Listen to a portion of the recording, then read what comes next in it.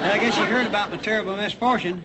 Oh. Yeah, my great uncle died. Oh, that's bad. No, that's good. How come? Well, when he died, he left me fifty thousand dollars. Oh, that's good. No, that's bad. How come? Well, when the Internal Revenue got through with it, all I had left was twenty-five thousand dollars. Oh, that's bad. No, that's good. How come? Well, I bought me an airplane and learned to fly. Oh, that's good. No, that's bad. How come? Well, I was flying upside down the other day and I fell out of the darn thing. Oh, that's bad. No, that's good. How come? Well, I looked down under me and there's a great big old haystack. That's good. No, that's bad. How come?